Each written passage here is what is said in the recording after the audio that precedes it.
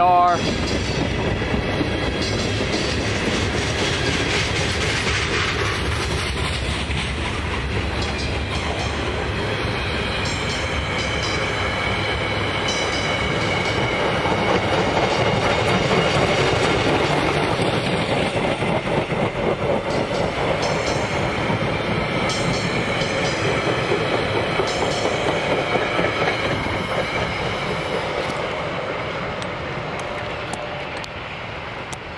Have fun in Nashville. We'll miss you.